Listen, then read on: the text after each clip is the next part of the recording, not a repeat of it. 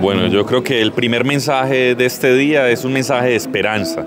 de que la, institucionalidad está presente y unida, trabajando para garantizar la seguridad de los ciudadanos y hoy de la mano de los alcaldes y todas estas autoridades desde el ministro y la cúpula militar pues han dado ese respaldo y apoyo para cuidar el oriente antioqueño.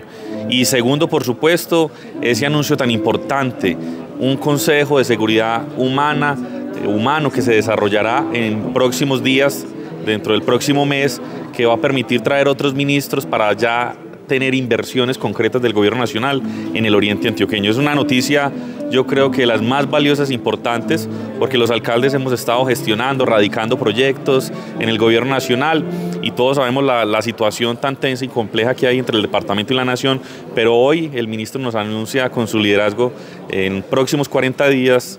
unos ministerios que van a estar para entregar recursos a los municipios del oriente antioqueño. Segundo, el fortalecimiento de la fuerza pública, la llegada de Unipol, que es una unidad de la Policía Nacional en los meses de noviembre y diciembre que va a permitir reforzar la seguridad del oriente antioqueño de nuestros municipios y que va a estar dando eh, eh, la ronda en todos los municipios del oriente antioqueño. El fortalecimiento a los órganos de investigación judicial como la SIGIN, CTI y otros órganos que nos permitan, a la par de la operatividad que es importante, en el oriente y en nuestros municipios, tener también golpes eh, y operaciones judiciales que, permitan